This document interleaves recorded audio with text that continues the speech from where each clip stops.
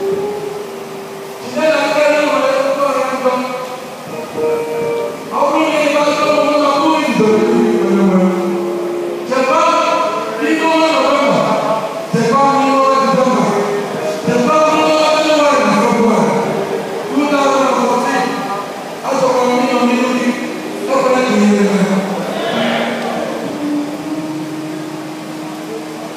c i n e s